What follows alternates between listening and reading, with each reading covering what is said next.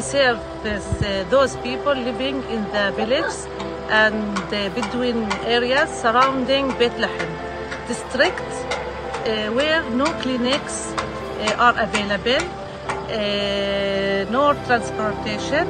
Our mobile clinic is fully equipped with qualified team, driver, nurse, gynecologist, uh, and pediatric uh, doctor. وشكرا لكل يعني من طاقم البرنامج كله اللي بيجوا وللدكتورات والشوفير والممرضات كل والشكر.